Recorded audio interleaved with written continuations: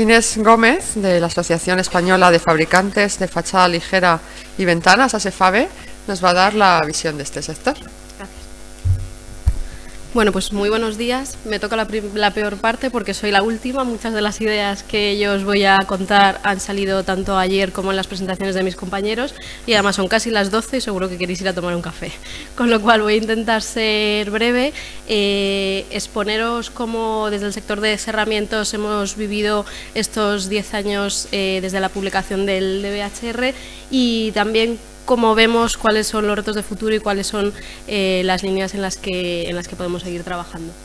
Muy rápido para aquellos que no nos conozcáis, ASEFAB es la Asociación Española de Fabricantes de Fachadas Ligeras y Ventanas. Se constituyó en el año 77. Llevamos eh, muchos años eh, pues bueno, eh, desarrollando y colaborando con todas las entidades, como veis aquí a nivel nacional e internacional,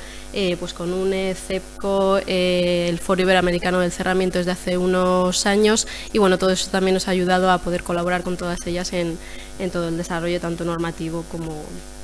como de las actualizaciones y bibliografía que vamos desarrollando. Lo que os invito es eh, también a seguirnos en nuestras redes sociales, que al final siempre colgamos ahí todas las novedades de todas las guías que vamos publicando y todas las noticias de interés.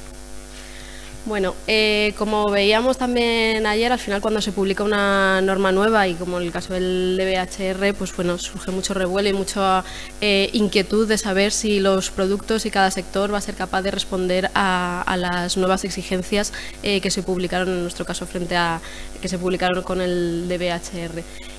os he querido traer aquí un detalle de que ya en el año 2008, en octubre de 2008, en el Congreso Nacional de Aislamiento Térmico y Acústico, se presentó un estudio realizado por Cidenco en el que se analizaba si, la, si las eh, eh, cerramientos y las ventanas existentes en esa fecha podían ser capaces de cumplir eh, los valores que se, incluían, que se incluyen a día de hoy en la tabla 3.4. Bueno, veis que había una, dos partes del estudio. En la primera parte se analizaba qué pasaba con los valores tabulados. Nosotros, en el caso de la norma de producto de ventanas, eh, para las ventanas hay dos opciones, o bien eh, hacer un, tomar los valores tabulados que permite la norma de producto, o bien eh, realizar un, ensayo acústico. Analizando el estudio que presentaba Ciden con su caso, es verdad que para los valores tabulados eran valores conservadores y siguen siendo valores conservadores y había una parte que, que no, se, que no se cumplía para los, eh, los casos de EDN muy altos. Pero lo que ya se veía en este año 2008 es que con los resultados de ensayo que ya se tenían, eh, vamos, todas las soluciones, eh, con diferentes soluciones de, de ventana, con diferentes cierres y diferentes acristalamientos, cumplían las exigencias que, que se incluían en el, en el DBDHR. Con lo cual, como os imagináis, pues al final lo que hemos ido viendo en estos 10 eh, años es la evolución de los productos, muchas veces eh, de la mano de la evolución, como comentaba también Yago, de la evolución del acristalamiento. os he traído aquí un ejemplo de la norma 12758, que se refiere al acristalamiento, a la parte específica de aislamiento del acristalamiento, donde veis que bueno, los valores que, se dan, que son también conservadores, pero que luego se puede consultar con los propios fabricantes, valores acústicos de 4, cámara 4, que por supuesto se van, se van eh, mejorando con la utilización de laminares o en este caso, por ejemplo, que veis aquí con la utilización de triple vídeo, eh, pues aquí tenemos un 12 cámara 4 eh, cámara 8, los dos laminares que alcanzan unos valores de de RWCCTR de 42 menos 2 menos 4. Al final, como os comentaba, muchas veces eh, en el sector eh, de ventanas eh, los cambios han venido también motivados por la respuesta a las directivas de eficiencia energética, pero que al final también han, garantizado el cumplimiento de la parte más de, acústica. Al final la evolución de estos productos, pues bueno, ha seguido, ha seguido la evolución para poder cumplir los requisitos que en nuestro caso es, eh, se incluyen en esta tabla eh, que veis aquí en función del índice de mapa de ruido. También lo que hemos estado viendo es que cuando se aprobó el código técnico eh, no se tenían todavía todos los mapas de, ruido desarrollados. Entrábamos siempre por la opción más desfavorable que nos permitía el código técnico y a medida que, cada ayuntamiento ha desarrollado todos estos mapas de ruido, pues bueno, ya no hemos tenido que adaptarnos más a la realidad y al sitio en concreto concreto y, por supuesto lo que también hemos visto es que existe producto eh, que cumple esas características bien, bien escogido, teniendo muy en cuenta, lo que también luego voy a explicar y lo que se ha dicho ya en innumerables ocasiones estos días, la parte de una correcta ejecución es necesario tener un producto con unas características que acústicamente eh, cumplan, pero en el caso además de la ventana, que es el elemento más débil si consideramos en la fachada, si no está bien instalada esa ventana no se van a garantizar los valores ni térmicos ni acústicos ni de estanquidad que al final también están relacionados con la parte de, con la parte de aislamiento acústico. Como os decía y como también vimos ayer, el catálogo de elementos constructivos pues, bueno, también incorpora eh, valores de del aislamiento acústico de, ventanas. Comentaros que estos valores que se, que se, incorporan en el catálogo de elementos constructivos vienen de este anexo B de la norma de producto y son valores conservadores, como ya anticipábamos, como os comentaba en, en el estudio. Con lo cual los fabricantes eh, han ido desarrollando eh, ensayos en laboratorio con antigua 140 parte 3 y la actual eh, norma eh, que la ha sustituido y nosotros lo que siempre decimos es que se recurra siempre a valores de ensayo mm, más allá de los, de los que están en, el anexo de la norma o en el catálogo de elementos constructivos eh, para garantizar el cumplimiento de las soluciones de aislamiento acústico. El catálogo de elementos constructivos incorporaba también dos aspectos fundamentales, la parte de ventanas dobles para cumplir en aquellos sitios donde sea muy necesario aislamiento acústico en función de los mapas de ruido que se tengan y otro aspecto muy importante que también adelantaba Yago del tema de los cajones de, persiana. Eh, Igual que hemos comentado que desde el punto de vista de fabricantes de acristalamiento ha habido también una evolución, también los fabricantes de cajones de persiana han hecho un esfuerzo eh, para desarrollar cajones de persiana que de los que ya no se diga que merman las prestaciones del conjunto, sino que sea un, aislamiento, un cajón de persiana suficientemente aislado acústicamente para que no sea el punto débil de toda la fachada. Claro, en esto, con la publicación nosotros pasado en nuestro sector eh, que en el año 2010, a partir del año 2010, fue obligatorio el marcado C de ventanas. Es verdad que para nosotros tuvo un periodo de coexistencia de dos años, con lo cual ya los fabricantes empezaban a caracterizar también desde el punto de vista acústico las, las ventanas y al final lo que nos sirvió es que efectivamente eh, la prestación acústica se incluye en el, en el marcado C y lo que os comentaba, pues al final todos los fabricantes en, nuestro caso de marcado C, el marcado C muchas ocasiones eh, se realizan los ensayos eh, en cascada, el sistemista es el que realiza el ensayo que cede a los fabricantes más, más pequeños, pero bueno, que sepáis que al final eh, durante estos 10 años pues se han caracterizado muchas soluciones de cerramientos acristalados y que se incluyen, o sea, la verificación la podéis ver en, en, los documentos de marcado C, en la declaración de prestaciones o, o en la etiqueta. Como os decía, fundamental la parte del, del capianzado. Al final, en una fachada, eh, la fachada va a tener un aislamiento acústico como mucho 10 decibelios mayor del elemento más débil, con lo cual habrá que centrar los esfuerzos en la ventana o en el capianzado para garantizar el aislamiento acústico de, la fachada. Y aquí pues bueno, se ha hecho un esfuerzo, eh, por supuesto, eh, para informar al sector y para la utilización de materiales absorbentes acústicos en el interior de la caja de persiana eh, para tener especial cuidado también en las tapas de registro de los cajones de, persiana y sobre todo para la parte del sellado. Es decir, al final, lo hemos comentado antes, un producto si no está correctamente sellado eh, no va a garantizar, va a haber por ahí eh, una pérdida tanto de la parte térmica como acústica, con lo cual aquí se ha hecho un especial esfuerzo y ahora os comentaré uno de los trabajos que hemos desarrollado para concienciar sobre la importancia de la instalación. Eh, el, incluso comentaros que en la guía de aplicación del DBHR eh, se explica, os invito también a, ver todo esta, este desarrollo, se explica especialmente la importancia del cajón de persiana y se analiza eh, en el caso, por ejemplo, de que un fabricante no lleve un, o sea, no tenga una ventana con monobloc, donde al final lo que se caracteriza es el conjunto que se declara en su marcado C, sino en el caso en el que nos encontramos una ventana por un lado y un cajón de persiana por el otro, pues ya la guía recoge un procedimiento del cálculo de elementos mixtos eh, donde se llama la atención eso de que si tenemos, por ejemplo, un cajón de persiana que da un aislamiento de 25 decibelios no aislado eh, internamente, pues siempre el conjunto va a ser peor. En este caso sería un 30 decibelios de aislado con aislamiento acústico dentro del cajón de persiana.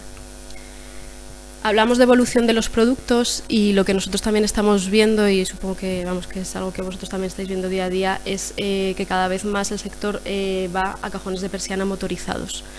Esto desde el punto de vista acústica es un avance porque no tenemos el paso de cinta con lo cual eliminamos eh, ese ese problema y lo que estamos viendo es eso, que cada vez más se tiende a la motorización del cajón de persiana. Eh, también importante, también nos supondrá un reto para, para, los fabricantes el hecho de cómo se consideran estos productos, cómo se hace el marcado de, de estos productos, cómo se hace la conexión, cómo se hace la instalación de las ventanas con, con un cajón de persiana motorizado. Pero bueno, vemos que, que, esto sí que es un desarrollo que, que, se, está, que se está viendo cada día más, eh, como más normalizado.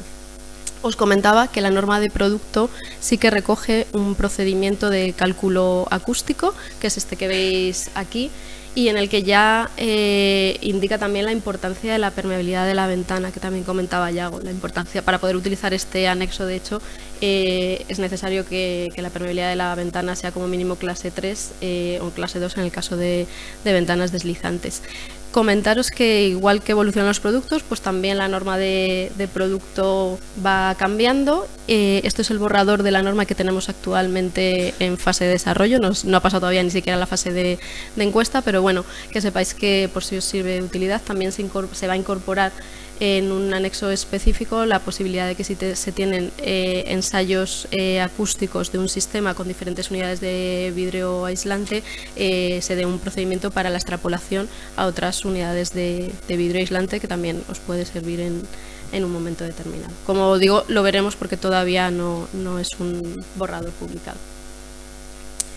Y como ya hemos comentado en varias ocasiones, eh, al final el esfuerzo que estamos haciendo ahora desde la asociación es eh, centrar los esfuerzos en la parte de instalación. Nos encontramos hace un año que desde el punto de vista, hace unos años que desde el punto de vista normativo no existía, eh, había una instrucción del año 85, pero como os imagináis obsoleta, no existía una norma específica de, de colocación de ventanas, con las recomendaciones desde el punto de vista de colocación de ventanas. Con lo cual lo que hicimos en el año 2016 desde el Comité Técnico de Normalización, eh, del cual llevamos la Secretaría Técnica, fue revisar esa instrucción y publicar esta norma que veis aquí. Es la norma 85219 de 2016 de colocación de ventanas, donde se incluyen eh, un conjunto de recomendaciones que permiten eh, pues que la instalación de la ventana se haga de forma correcta. como comprenderéis, la, instalación de la ventana nos podemos encontrar muchísimos casos, tanto obra nueva como rehabilitación, pero bueno, lo que siempre decimos es que siguiendo los requisitos mínimos que se incluyen en esta norma, eh, seguro que vamos a garantizar unas, unas condiciones eh, adecuadas. Es una norma que no es de obligado cumplimiento, eh, el Ministerio sabe de su existencia y ojalá que en algún momento determinado se pueda citar como recomendable, pero bueno, creo que puede servir a todos para, para ver los puntos críticos que se deberían controlar en la, en la instalación de las ventanas. Por poneros un ejemplo, se incide mucho en, la parte de colocación en el hueco, dando pues, eh, indicaciones, por ejemplo, de los puntos mínimos de la parte de, fijaciones, el número mínimo de anclajes, la distancia mínima entre estos puntos de, anclaje y sobre todo también eh, un capítulo específico de la parte de sellado. Al final eh, en el mercado existen muchos productos, espumas de poliuretano, bandas, productos multifunción. Lo importante de todos estos productos es que se elija el adecuado en función de la, situación que tengamos, pero que se garanticen estos tres niveles que vemos aquí. El nivel primero, que al final lo que pretende es separar el interior y el exterior, que debe estar el estanco al vapor y estanco al aire para evitar que en la zona central del sellado eh, pueda, acceder cualquier tipo de condensación que, al final lo que perjudique es este aislamiento térmico y acústico, un producto específico para esta zona central que como os digo lo que da es eh, este aislamiento térmico y acústico y por último está nivel 3 que, indica la norma en lo que, está abierto al vapor por el caso de que exista algún eh, exista vapor de agua pueda salir exterior y no, y no influir en, esas prestaciones que hemos comentado y que al final este es bueno, la parte de resistencia al viento y, al agua en caso de, lluvia. Como os digo, al final eh, la norma no prescribe uno ni otro, sino que describe todos los sistemas posibles para que sea el instalador en el caso concreto, cuando tenga el caso concreto, el que elija eh, el producto que necesita y dimos un pasito más, publicamos la norma, eh, pero nos pareció interesante eh, ayudar también al sector con una guía específica. Eh, muchas de las partes que se incluyen en la norma están recogidas en la guía de instalación de ventanas, pero además se incluyen pues un checklist de comprobación, ejemplos concretos, ensayos, referencia a los ensayos in situ de acústica o de, de agua, en el caso de estanquidad al agua y bueno, un, desarrollo de toda la parte de, montaje. bueno, comentaros que la guía es de libre difusión, simplemente si la, si la necesitáis o la queréis nos la podéis solicitar a Sefabe y os la mandaremos en, encantados. Y continuando, si veis todo este proceso de publicación de una norma, la parte de una guía un poco más práctica, lo que también desarrollamos fue un convenio específico con la Fundación Laboral de la Construcción para, para ayudar a la tercera pata y que también se comentaba ayer de la parte de formación. Em, para ello, eh, dentro de este convenio, lo que primero realizamos fue eh, cursos específicos para formadores. Nos encontramos que la, primera necesidad era formar a formadores para tener un, conjunto de profesores preparados para dar esta formación de, instalación de ventanas y estamos ahora trabajando en la parte ya de cursos para, instaladores de, ventanas, que tenéis la información en nuestra página web de ASEFABE o en la página web de la Fundación Laboral de la Construcción y son cursos eh, que llamamos de actualización, es decir, muchos profesionales llevan muchos años instalando eh, ventanas, pero la idea es poder actualizar sus eh, competencias para también informarles sobre los productos nuevos que hemos estado comentando, que bueno, no son nuevos, pero igual su utilización no está muy, muy extendida, para que, bueno, pues para que aprendan todas estas nuevas técnicas y al final se garantice la calidad de la instalación de las ventanas. Bueno, no me voy a meter en esto porque luego además va a haber una mesa de debate específica de este tema, pero bueno, también nos parece importante las iniciativas que se han desarrollado desde el punto de vista de control de la ejecución y ensayos in situ, que luego, luego veremos más en detalle.